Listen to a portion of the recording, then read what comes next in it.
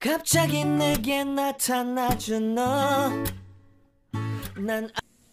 Transforming an organization is widely recognized as the seminal work in the field of OD or organization development.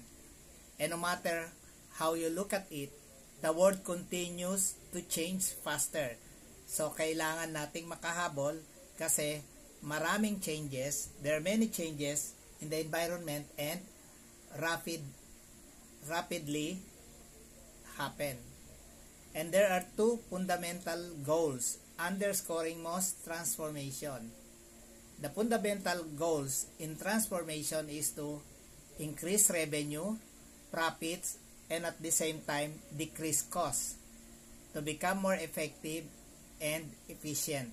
So ito yung mga goals na gusto nating makita to become competitive.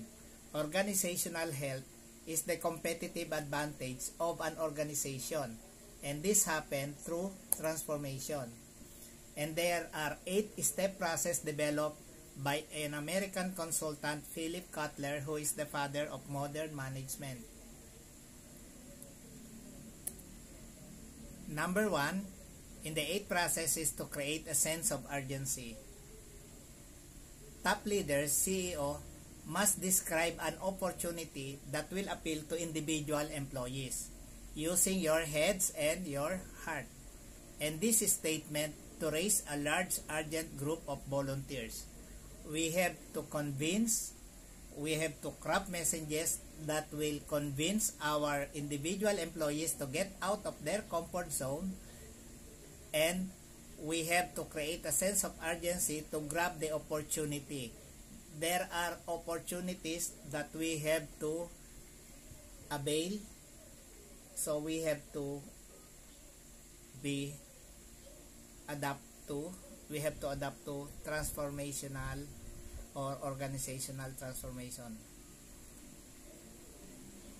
Okay.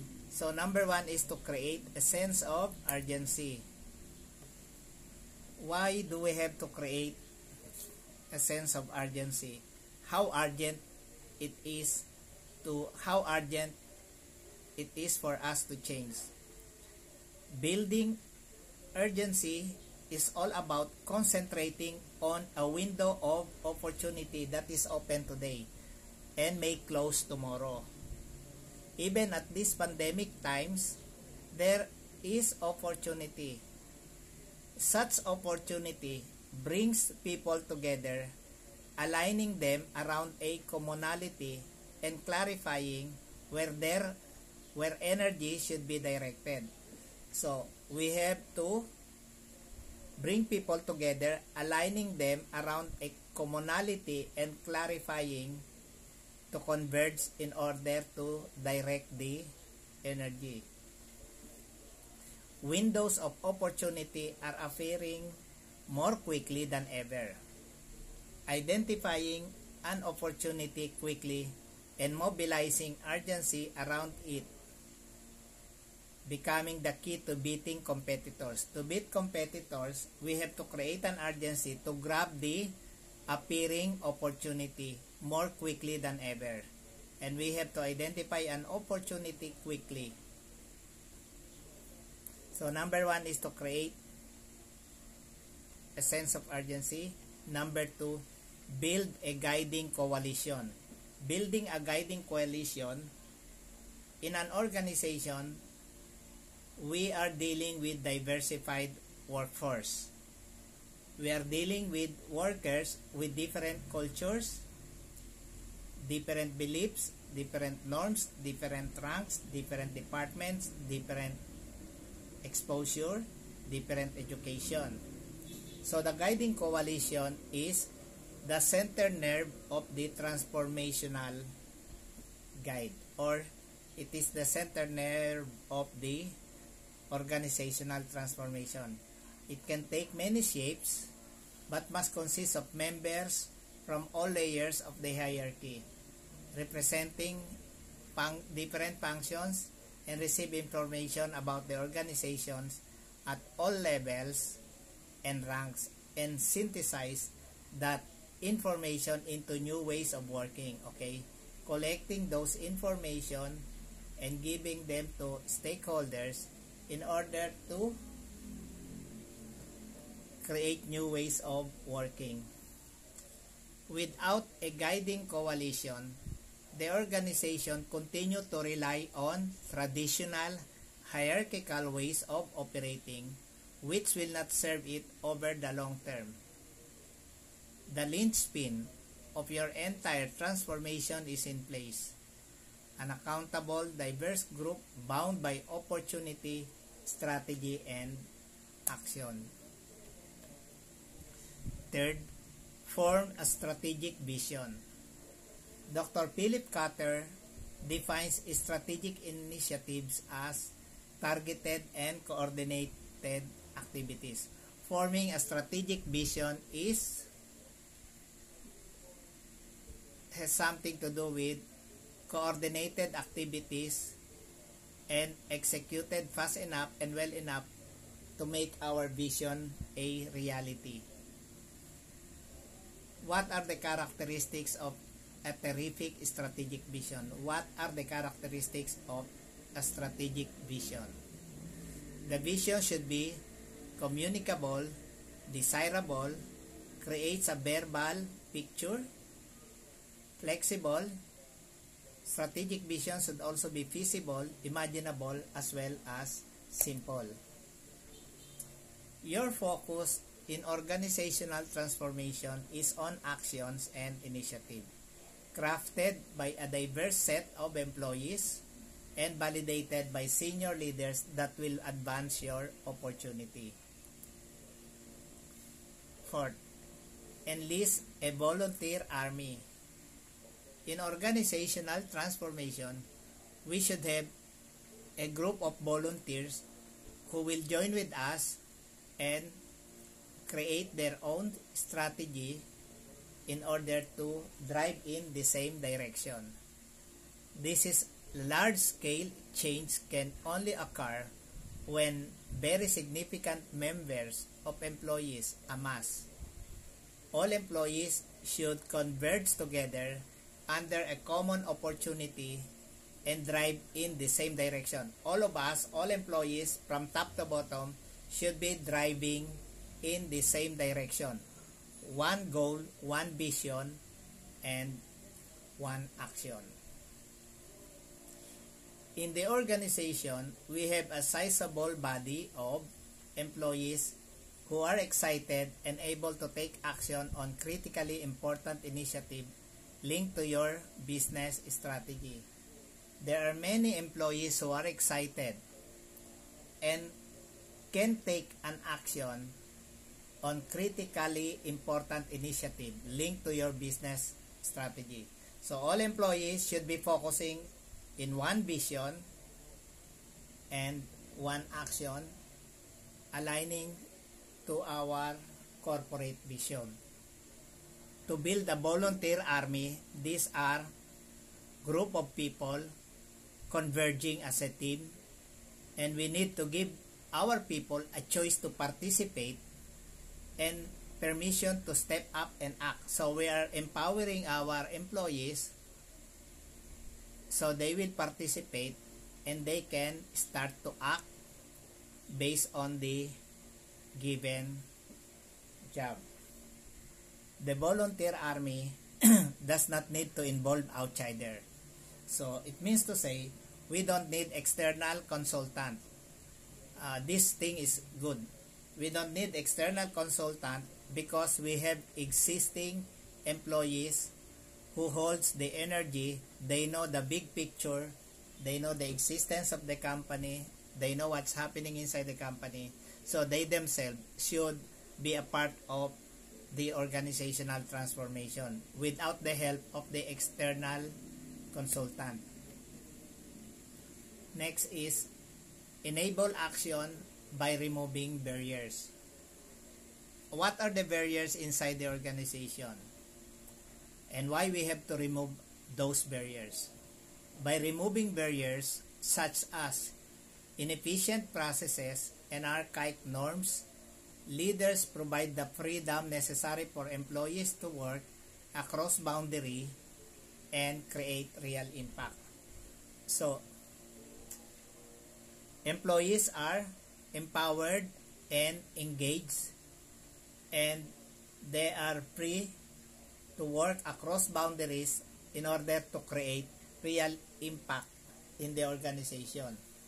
So, we have uh, two kinds of organization. Mechanistic, which is, it's very hierarchical uh, and you have to follow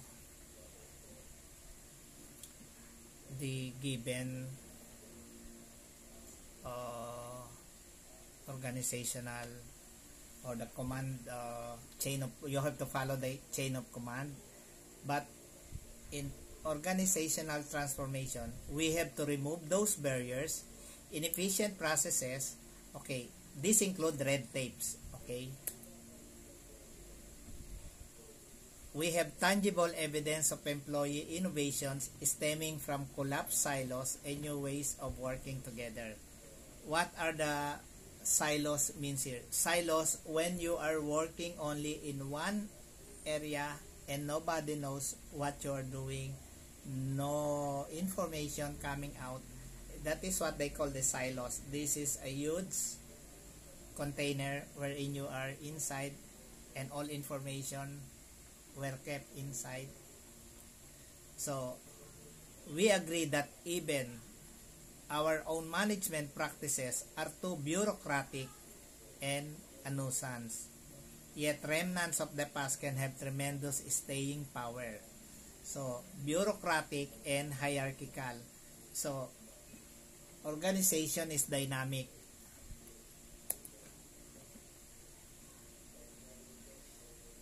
So, if we will engage and empower our employees, innovation is less about generating brand new ideas and more about knocking down barriers to making those ideas a reality. So innovation is generating new ideas and knocking down barriers to make those ideas reality. So remove barriers so everybody can contribute to the improvement of an organization. And in order to remove barriers, we must identify them. Think about why past initiatives have failed. Why previous organizational transformation has failed. In what stage? What stage it failed. And how they get completed but then abandoned. So, Barriers can be commonly stated and accepted statements that, while appearing helpful, can deter attempts to get past legacy obstacle. So, we have to remove barriers so everybody can act and show their talent and contribute it to the organization. Actually, sa workplace, may mga matatalino, magagaling na workers kahit sa technical, kahit sa conceptual, mayroong magagaling. Pero hindi sila nabibigyan ng pagkakataon. Many many potential leaders and many potential contributors to organization kept silent because they were not given the opportunity to act and to contribute. They are not empowered and they are not engaged. So, ito yung takbo ng organization natin. Kahit na sa Pilipinas, sa mga Pilipino. Sa Pilipino, kahit sa abroad, when I was working abroad, maraming magaling na employee, maraming magaling na workers, but they did not show up because they are not empowered, they are not engaged. Para bang yan lang ang trabaho mo, diyan ka lang. So, you have the duties and responsibilities. So, people are being stuck up in one activity based on their job description and duties and responsibilities. They are not empowered, they are not asked, and they are not considered to be a contributor to the organization. So, empowering employees okay will expose the potential leaders in the organization. So, remove barriers and as we mentioned before, common barriers include silos, silos container, narrowness in thinking, pressure to hit numbers, complacency, legacy rules or procedures, and limited access to key stakeholders and leaders. Okay. Why people are not empowered or not engaged? Some companies are practicing the so-called open door policy. In open door policy, you have an access to key stakeholders and leaders. You are not being hindered by your superior. Okay, maraming kumpanya sa Pilipinas ang nagpa-practice ng open door policy wherein an employee, a manager can go direct to the CEO. Okay, maganda ito kasi nalalaman mo yung real situation if the frontliners are the one talking to you there is no filtering of messages and there is no filtering of the real situation in the workplace environment. Open door policy is a part of organizational transformation wherein workers are not limited to talk with the key stakeholders and leaders. Now, while we're going with organizational transformation. Next is, let us generate short-term wins. Winning is anything, big or small, it's a progress. And that helps you move toward your opportunity. They may take the shape of actions to take, a lesson learned, a process improved, a new behavior demonstrated. Okay yung mga maliliit na improvement, yung mga maliliit na progress, maliliit na success, generate and celebrate. We have to celebrate. That's why during the transformation, nagkakaroon ng konting kainan, salo-salo. It's uh, just like celebrating. Parang pinakikita natin, nag improve na tayo unti-unti. So, napipil ng mga tao, nag improve na nga tayo kasi nagse-celebrate tayo. First time nilang kumain kasama yung CEO, Okay? When I was working abroad, I encountered similar scenario. Uh, yung vice president ng kumpanya when I was working in a petrochemical company that is the Saudi Petrochemical Company in Saudi which is owned by Shell Oil Company USA. Okay. We experienced lunching together with the CEO, okay, per department materials department, let's say Monday, you will lunch out with CEO. Doon lang kami kumakain sa kantin, malaki yung kantin namin. Uh, kung ano yung pagkain ng mga Amerikano, yun din yung pagkain namin. So we lunch together with our big boss. So we're happy. It is being done per department. Okay. Maganda ang transformation sa isang kumpanya. Ito yung gustong gusto ko pagka nag diagnose ako ng isang kumpanya, nakikita ko yung problema. Makikita mo yung problema kasi you have the benchmark. My benchmark is my previous employer. My previous employers were Halliburton International, that is the Brown and Root International, and then Shell Oil Company. I hope everybody knows about these companies. Halliburton or Brown and Root International, which is owned by Dick Cheney. So, nakita ko yung mga sistema in terms of productivity, in terms of quality system, in terms of even salary, recruitment system, nakita ko paano sila mag-recruit. What I have experienced is different.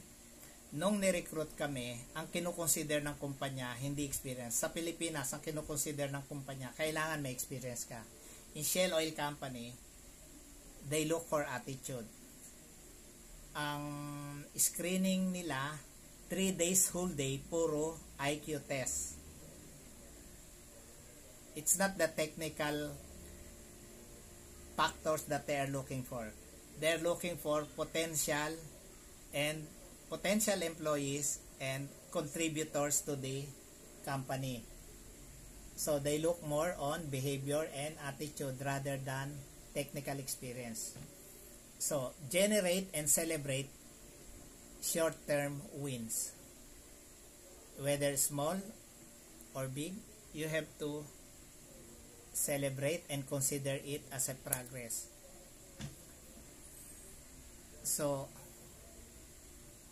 we have to collect data and a body of data that tells the story of your transformation is validated, quantifiable, and qualifiable terms.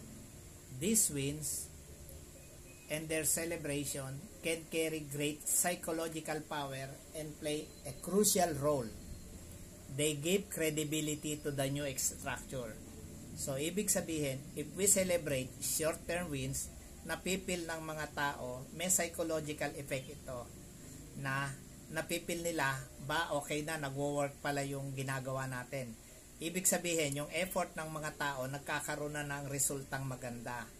They give credibility to the new structure. So, doon nila sasabihin na okay pala tong ginagawa natin na organizational transformation. Nakikita natin yung improvement. Kasi nga, sineselebrate ng management kasama tayo.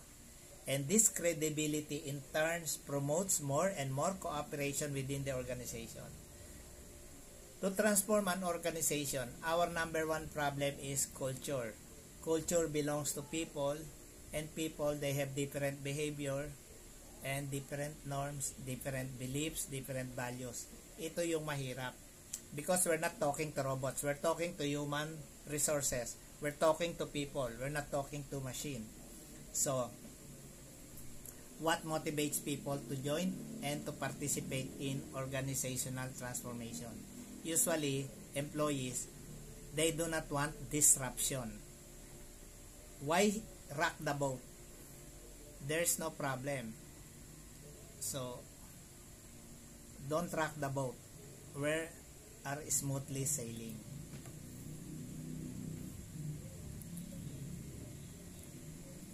And then, next is sustain acceleration. How shall we sustain acceleration?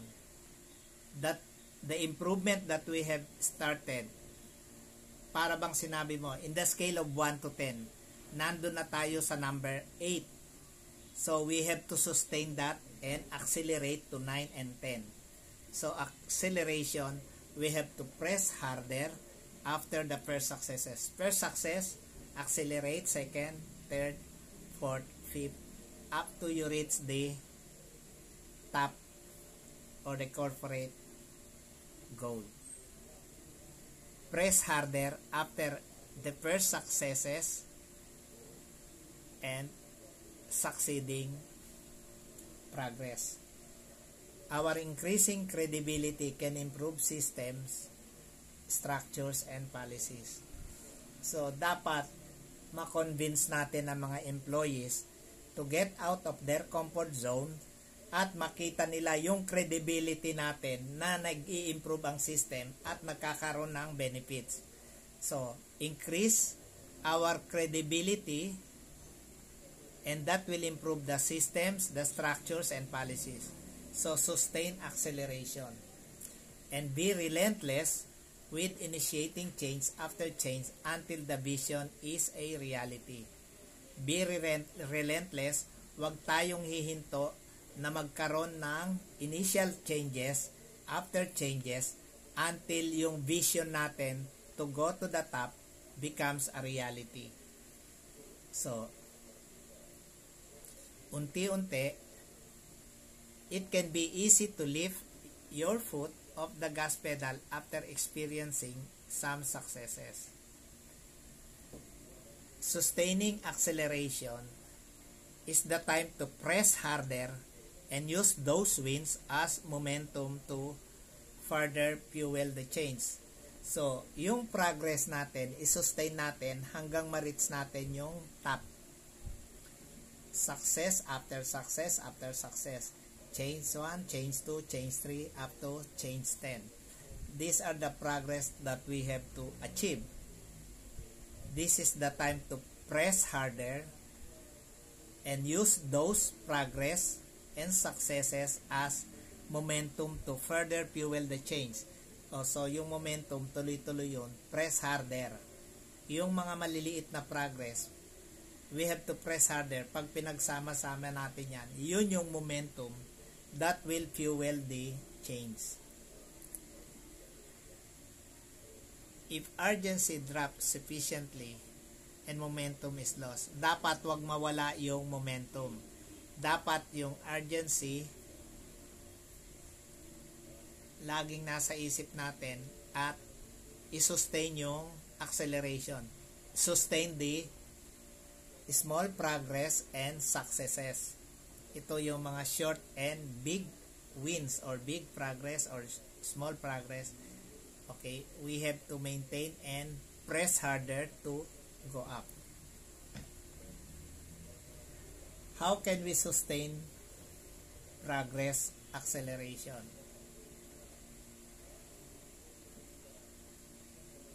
Okay.